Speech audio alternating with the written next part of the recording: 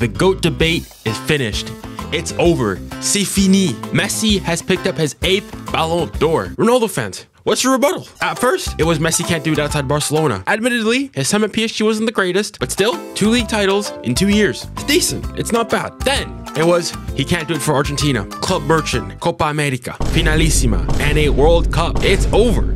How? What's next? Now all the Ronaldo fans on social media have to resort to the fact that, oh, well, technically Ronaldo has scored more goals than Haaland and Mbappe this season. Whoa, come on now. Even to everybody who mocks Ligue 1 for being a farmers league, Ligue 1 is levels, levels above the Saudi Pro League. Come on, let's talk football here. Let's talk football. Clowning aside and everything, you know, memes aside and everything. Let's be serious here. Ligue 1 is better than the Saudi Pro League. And don't forget, remember last season, how Messi, you know, was struggling like PSG a bit. All right, and Ronaldo fans were saying this washed at 34, can't hack it, and in a Farmers League, and Ronaldo in the Premier League doing this and the other. My, my, my, how the tables turn. It's over. The debate is over. Ronaldo fans, give me your best in the comments.